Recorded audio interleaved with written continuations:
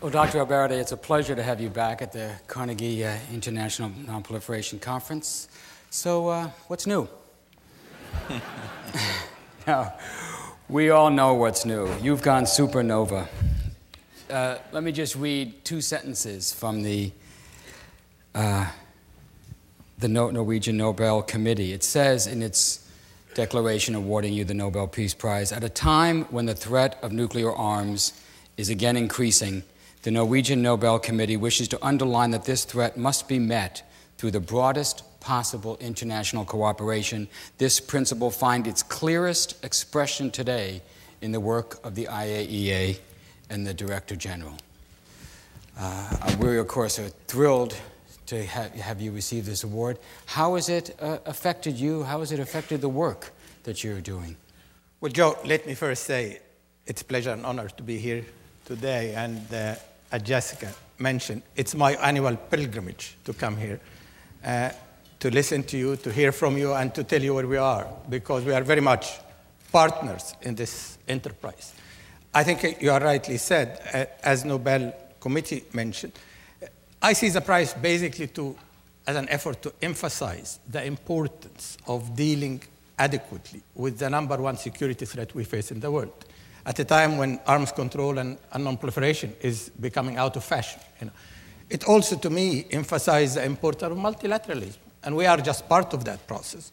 I don't think any of the problems we are facing today, whether countries trying to develop nuclear weapons, countries to, to do more subtle approach by developing fuel cycle. Uh, the, the, question of the physical protection of nuclear material, the desire by terrorists to acquire this material, the stagnation in nuclear disarmament, which creates a absolutely a cynical environment. Uh, on all these issues, I don't think we can move an inch forward without putting our heads together, without working together in unity of purpose and clear understanding that we are either going to succeed together or fail together. Wonderful. It, you, uh, you prepared some remarks for today's conference, uh, and you, you decided that you'd rather sit down and have a conversation here. We have posted your remarks uh, at the Carnegie Nonproliferation website, which, by the way, is proliferationnews.org.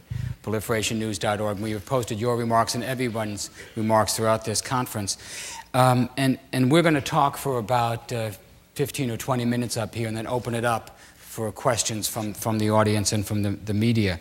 In your prepared remarks, one of the first points you make is, is the question of how effective is verification?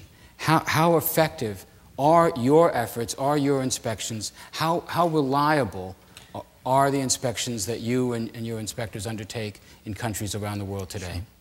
Joe, as I've said always, uh, verification is as effective as you're allowed to, to be. Uh, it depends on what kind of mandate we have, legal authority. It depends on the technology we are, we are able to use. It depends on the compliance mechanism that is backing us, and it depends on information we receive. Uh, in short, the, the verification today is much better, 10 times better than what we had in pre-1991 Iraq, but it is not where it is, where it is supposed to be we still have 100 countries that have not joined the so-called additional protocol that gives us the authority required to look for undeclared activities.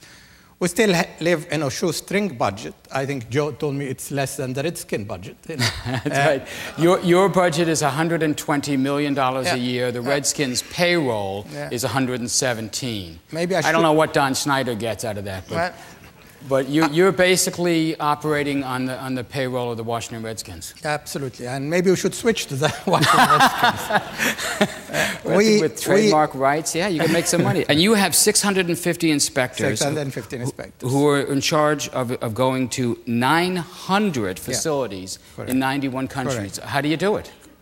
Well, we try our best, cross our fingers. But when people malign us and say we're not effective, we're not efficient, they, look, they need to look themselves at the mirror what sort of authority do we have? You know, what sort of budget do we have? Uh, what sort of compliance backing we get? In 1992, we reported North Korea to Security Council. 2005, North Korea said they have a Security Council. Uh, they have a nuclear weapon. When we reported North Korea to Security Council in 1992, we haven't heard from them until today. You know.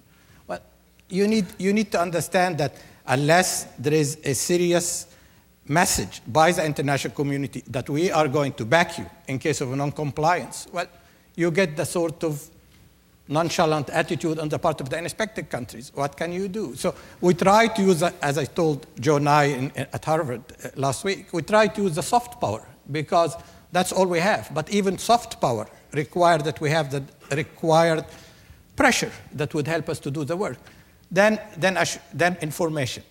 Information is key to verification, Joe. Without knowing where to go, you know, in a big country, you know, uh, I'm lost, you know. And we don't, until today, have a system, a mechanism by which countries provide us in a, in, a, in a, steady way the information who is getting what, who is denied what, where all these sensitive technologies are going. So lots still to be done. We're moving forward, but, but we still could do much better. Let's just take a specific example, the one that's in the news and has been in the news for years now, Iran.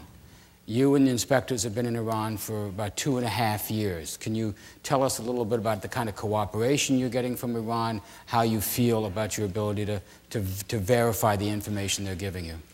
Well, I think on Iran, we are now in a, there is a sea change in terms of our understanding of where the Iranian program is coming from. You know, we understand the extent, the nature of the program. We know that they have tried to master the entire fuel cycle.